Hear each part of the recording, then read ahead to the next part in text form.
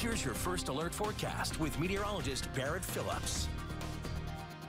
Welcome back, everyone. We still have a severe thunderstorm warning that's in effect uh, for parts of uh, northern Clay County here. That's pretty much the Henrietta area and also the Petrolia area as well. Now, this activity is moving southeast at a slow 10 miles an hour. It's actually slowed up a little bit in its movement over the last 30 minutes or so. This right here is for 60 mile per hour wind gusts now, so we did get those wind gusts lowered a little bit, but still severe. This is more of a standard severe storm warning as of right now with the 60 mile per hour wind gust radar indicator indicated, along with quarter size hail as well. So the good news is it's pulsed down a little bit, but we'll take a closer look at it here. You do notice those winds quite gusty as they came out of the falls area. Now between Petrolia and Henrietta, some gustier winds going on right now. The core of the activity, though, is actually near the Jolly area, moving from Jolly closer to Henrietta. This right here is a little bit of quarter size hail that we're detecting up on radar as of right now. So we'll take more expansive look at what's going on out there for tonight. You notice notice that cool front continues to slip through the area and along and ahead of that, that's where we're seeing the scattered activity.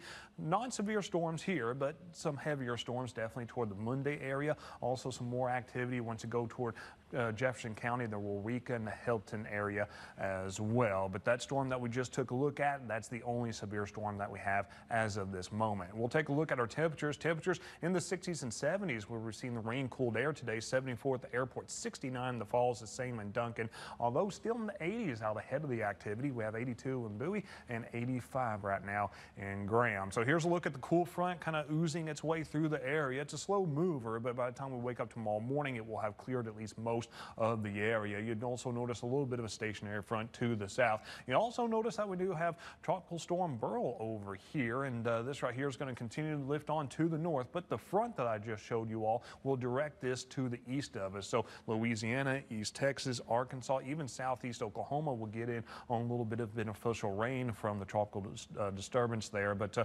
regardless, you do notice another kind of wave to the northwest of us. This right here will pass through us as we head on into your Monday. So tonight's, like I said, a 20 to a 30% chance of activity. You do notice some activity coming in uh, as far as uh, um, some isolated scattered activity is concerned tomorrow as we head into the afternoon hours. And yes, you notice some rain across southeast Oklahoma. That right there is due to Beryl. But once again, that front directing that to the east of us. So if we do receive any rain tomorrow, it's going to be pretty much um, just due to a minor disturbance in the upper levels, not um, associated with Beryl. Anyways, taking a look at tomorrow, about a 30, 40% chance of activity there for your Monday. You notice temperatures are going to be lower. We're going to be in the upper 80s. Drying out Tuesday, temperatures near 90 degrees. Then we're in the mid to upper 90s and temperatures slowly creep upward as we head into the weekend. About a, we're going to hold on to about a 10% chance of activity through the rest of the seven day forecast, but that's about it. Temperatures in the triple digits